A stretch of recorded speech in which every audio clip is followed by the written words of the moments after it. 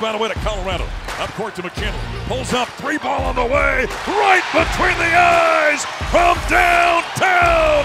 The right stuff has tied this game at 49. And they're going to blow the roof off the joint here in Boulder.